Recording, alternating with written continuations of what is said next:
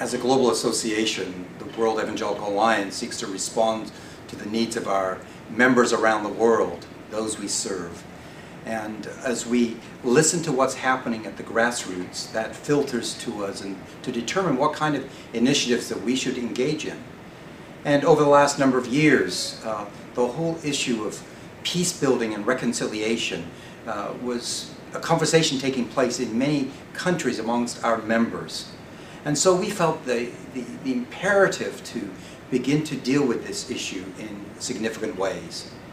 And so we decided that we would launch the World Evangelical Alliance Peace Building and Reconciliation Initiative uh, to respond to the needs of our community, how our community could respond to the needs of the world around them. So this is a very important initiative for WEA.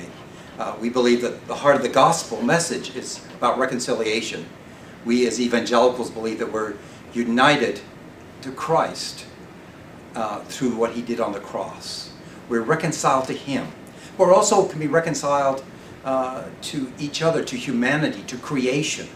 Uh, again, the heart of the gospel is reconciliation. And so as evangelicals, we need to be on the forefront of bringing this message of hope and peace and reconciliation in the world. That's why it's important for World Evangelical Alliance to engage in this very important issue. One of the unique opportunities that uh, World Evangelical Alliance Peace and Reconciliation Initiative brings is the fact that we serve a constituency of 650 million Christians. And because of that, we can play this role of representing one of the main world church bodies as we go into various contexts. Uh, this is important. This is, we're not a single organization. We're made up of many members. And therefore, we can speak in a representative way for a significant population group in the world.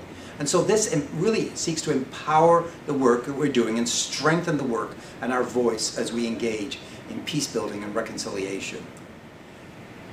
As I look across the world and, and it's very troubled in many parts of it.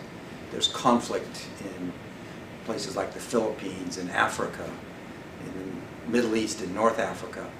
And for us as World Evangelical Alliance, we said, what difference can we make in some of these places?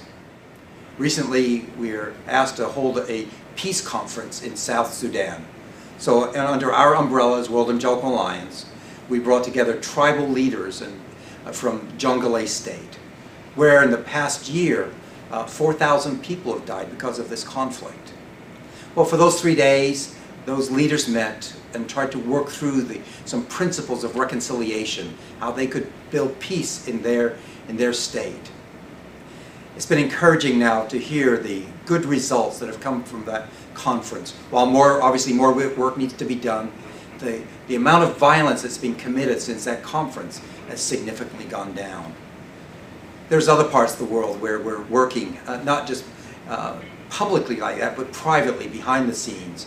Of course, it's the situation in the Middle East, in places like Egypt, where quietly behind the scenes we're trying to make a difference or we're in conversations in other parts of the world, uh, uh, like Nigeria, where there's conflict there uh, uh going on. And so we need to be in these dialogues uh, behind the scenes, uh, building bridges, understanding, and so that we can be resolving some of these tremendous problems. One of our beliefs at World Evangelical Alliance is that religious freedom is for all people, for all religions, and that we should treat each other with respect and dignity recently when a pastor from Florida decided he was going to burn the Quran, uh, we were asked to intervene into that story. Because on previous occasions we had seen the outbreak of violence in response to such actions. And so we decided that we would meet with him and try to dissuade him from this act, that he did not have to desecrate some religion's holy book to make his point. So we had a long discussion that this was not a Christian way of doing it Of course, we didn't dissuade him. He eventually went ahead and, uh, and burnt the Quran. One of the things we were able to do with this situation was we were able to communicate to media outlets, in the, particularly the Islamic world, of why we as Christians uh, did not want to see Qurans burned. Uh, and to say that this pastor that was doing this from this very tiny church was not representative of who we are as Christians. because we're able to get that message out, a message of reconciliation, a message of peace, it's our understanding that there were no violent outbreaks in response to the burning of the Quran. So as we seek to build peace and reconciliation, uh, particularly interfaith uh, peace and reconciliation, again, the principle of being respecting each other, but speaking truth to each other as well.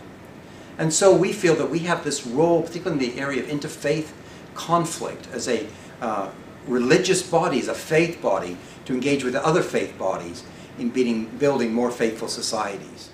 I'm really excited to be able to speak at uh, Evangelicals for Peace. I want to applaud this initiative.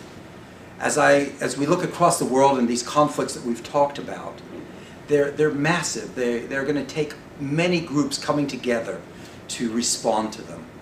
And I believe that this group that's coming together here in Washington is so very important that as evangelicals who are committed to collaboration and partnership, but we're also committed to peace building, and that we believe together we can have greater impact. So I'm anticipating some great things coming out of this uh, gathering of evangelicals for peace. And I, again, I want to say I'm looking forward to being there and, and being involved and interacting with other leaders about how we as evangelicals can be peace builders in the world. So I want to encourage you to participate in this, this great event that's coming up.